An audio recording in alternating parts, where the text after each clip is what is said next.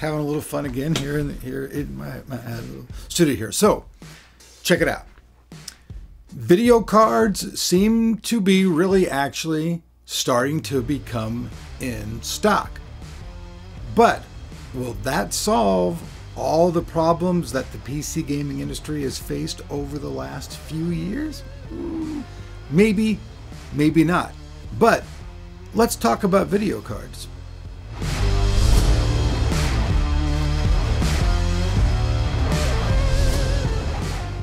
Chances are that if you're upgrading a computer with major parts or you're just building a new computer, you're going to need a legitimate Windows key.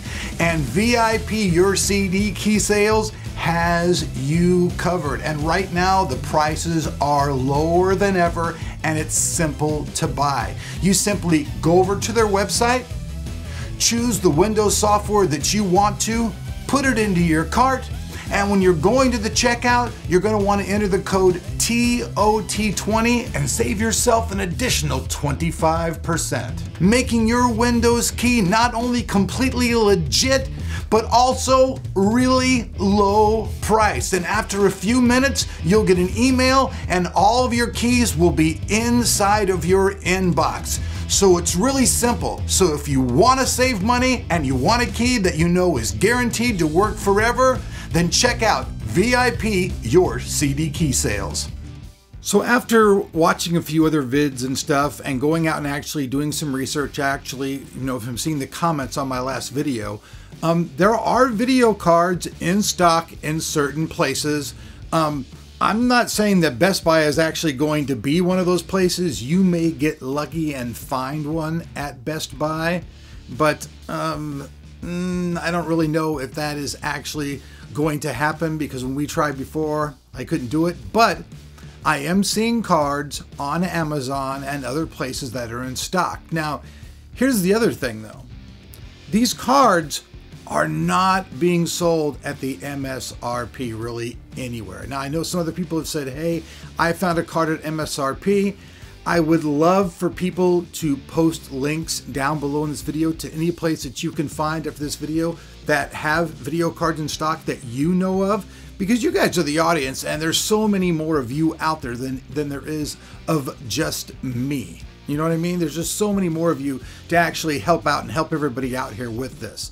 Because I feel that the way that everything's been going, so many people are gouging. Even even Amazon and the companies on there, they're just gouging. I mean, if a card's supposed to sell at an MSRP, that should be what it is. Now, I've had an argument with a couple of friends of mine about this stuff because if you walk into a guitar place to buy a guitar and the MSRP on that guitar is $15.99 and they're trying to sell that guitar to you for $29.99, you're going to be like, go frack yourself. There's no way on earth I'm going to buy that guitar that's MSRP at that. In fact, what you're going to try to do is get it for under MSRP. That's been the big deal forever and why I call my hookup AJ at Sweetwater whenever I want something. Whenever I want something, I call my homie AJ and say, hey man, what kind of deal can you get me on this? Because I don't want to pay that MSRP. And I usually get a pretty good deal on stuff. So, you know, that's a cool thing. But with video cards, there's nothing like that anymore. There used to be, Back in the day, I had hookups for video cards everywhere. Now, I'm going to fully admit to you guys 100%. Me being sick for so many years, um, all the chemicals in my body, me dying, just everything that happened to me over the last, you know, few years affected me and my relationships with the industry. I am not in touch with the industry as much as I used to. I'm sure you guys noticed it on the channel. I'm really trying to refine my identity on here and see exactly, you know, where I'm wanting to go and do it because I'm not really the same exact person that I used to be. I don't have my team anymore. So, you know, doing all hardcore video card testing and all this stuff now when I don't really even have very many more video cards after moving and stuff and watching stuff disappear over and over and over again, it's just ridiculous. Um, man, I'm not even going to go there. But here's the thing though if video cards are going to be in stock, that's pretty cool. They're not going to sell for the MSRP. That's some BS. Now, Here's the other thing though. Even if video cards do start to come in stock for right now, because as you guys have seen, the crypto market is kind of taking a brrr, kaboom. It's just like blowing up in a bad way. There's all kinds of even Netflix specials. Now, I know some people are going to say, oh my God, that's going to be the end of cryptocurrency. That stuff's going down. Okay, I'm going to tell you right now, it's just going to come back in a different way as long as video cards can be used to do any type of mining, any type of thing like that, where somebody can buy a video card and make some kind of digital money that they can trade for real cash or maybe get rich quick, they're going to do it. Because all kinds of people did make millions upon millions of dollars doing all this mining stuff. They did. It's just a fact. Like I said, there are specials now on YouTube. Not, excuse me, not YouTube, Netflix. Pardon me. I made a boo boo. But, anyways, if you go over to Netflix, there's all these new specials about this stuff. So, obviously, you know, the crypto market was hotter than hell. And that's why, you know, probably the main reason, really, people want to say other reasons, but it, I really think at the core of it, it's just that these cards were bought up by everybody, even corporations and stuff who knew about this could buy giant big batches of cards, crypto mine them, and then maybe release them, you know, onto eBay later on and make make a fortune because the card market so you know so it was so fudged up for so long. They can make a lot of money either way. They can make money coming in, make money coming out. So I think that you know right now if you can get a video card, you probably should buy it, even if you really don't really need it and you've got the extra cash. Right now, I would go fishing and catch me some video cards. That's just the way it is because when crypto mining or whatever new mining comes up, whatever new name it comes out with, if it can do it on a video card, they're going to rebuy the video card market. Now, Nvidia I don't think they really liked my last video that I made about the pissing on people. I don't really think they appreciated it. I got a phone call the next day. Nobody really said anything to me, but I just felt like they were uncomfortable about it. And plus, you know, I think that, that they feel that since they put the lower hash rates on them, you know, the, the LHR on their cards, they're like, you know, they're saying, hey, we're doing our best, you know, to limit people, you know, from doing mining on these cards. But obviously, it really didn't do that much because people hacked their way around it. And there's all kinds of stuff on the internet of how to hack and get around this. So, I mean, I really don't know how much value there is in that particular thing. And I mean, no offense to my friends at NVIDIA, but I just don't. If you make a feature on a card and that feature can just be hacked and wiped out, well, I mean, what's the point? I mean, it's like, you know, hey, we have a door that'll that'll unlock with with with our mind, but we don't have telekinesis. Well, okay, yeah, I don't know. That particular aspect doesn't make any sense to me whatsoever. But as long as cards can be used by these people to make cash and then sell it back to a freaking market that's like just totally, you know, just doesn't have anything at all video cards.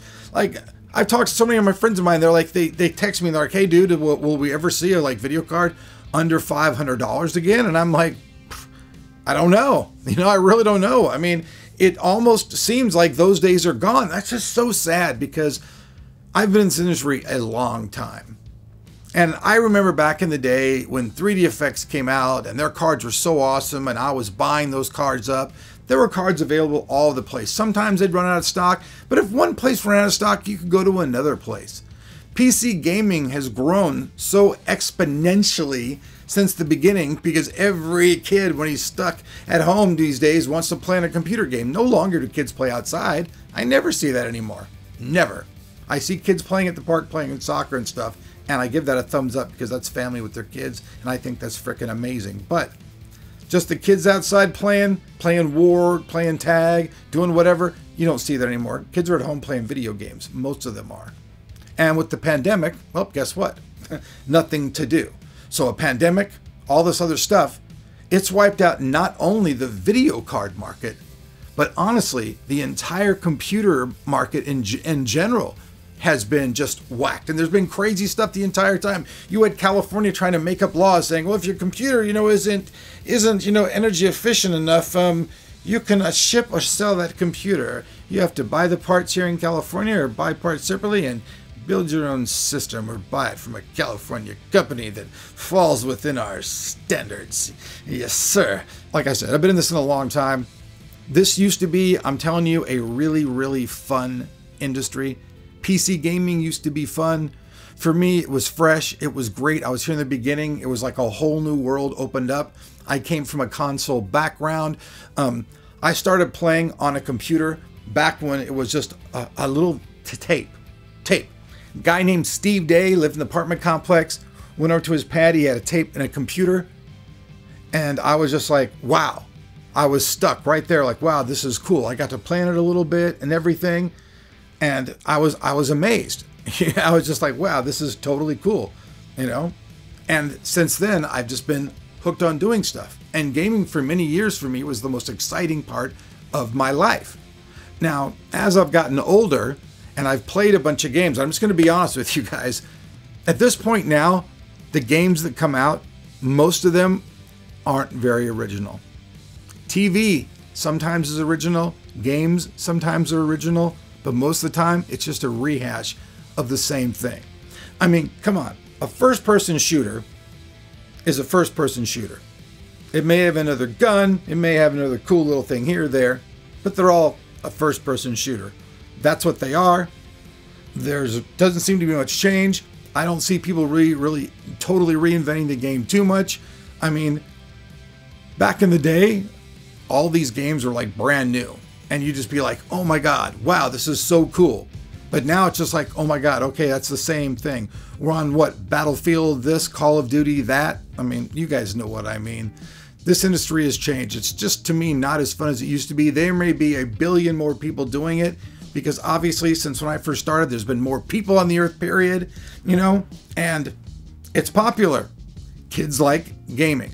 It's the most popular thing on the planet, but without video cards and the ability to buy them, guess what? it's hard to be in the PC arena, right? It just is. So we're going to have to see. I will put some links down below to the video cards that I can find on Amazon that are in stock. You guys can make the choice. You can be like, hey, okay, you know, they're just a little bit higher, so I'll pay the price, but at least they're in stock at the video card. Or you can veto that shite and just say, no, I'm only waiting till these cards become MSRP. But for right now, it does seem like the video card drought is going to take a backseat for a little bit. But only time will tell. Because if any other mining comes around, like I said, the whole thing will just start repeating itself again and again and again because it's been going on for years. I went back and watched a video of mine from like 2018 and I was like, wow, this whole thing has been going on for a long time. I mean, it has been going on almost since like 2016 it's been going on. Now we're almost in you know we're in 2022 in the middle of it. So is it really going away or is it just changing? I want to hear your comments please guys if you like the video i ask that you like and share this video on social media also if you're really cool and you want to hang out again please subscribe to the channel i'm trying to get my act together and bring a lot more videos to the table i just don't want to bring things that are just too just mediocre all the time. I want to do better things. So, you know, that's what I'm really trying to do right now. So, pardon the guy if I'm not just blasting out stuff, but I want to bring stuff that's more quality instead of just a bunch of garbage. So, peace out. Thanks for watching Tech of Tomorrow. You can support my channel many ways with a dollar over on Patreon. I got links down below. Music, the whole shenanigan. You guys know the deal. You've heard it before. You'll hear it again. Talk to you guys later. See you guys here on Tech of Tomorrow.